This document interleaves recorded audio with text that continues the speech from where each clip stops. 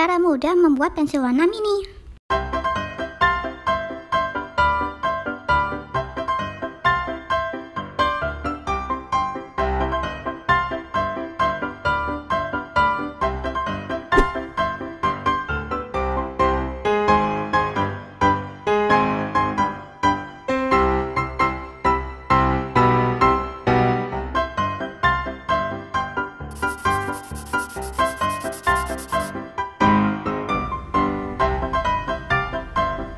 Thank